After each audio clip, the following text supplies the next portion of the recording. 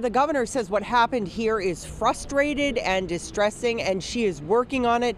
She also says she hopes to have an update soon on the search for a new GM.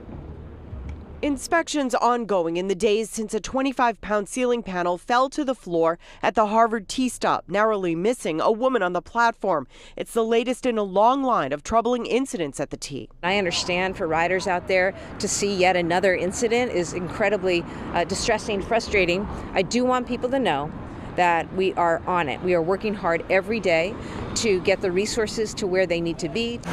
Crews removed more than 140 panels from the ceiling of the southbound platform at the Harvard stop alone.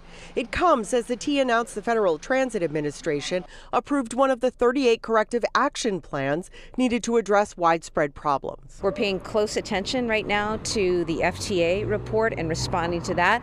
And I can tell you that, of course, inspections are happening um, at stations, at locations. More than two months into her term, Governor Healey says she's still working to find the right people for two key jobs general manager and transportation safety chief.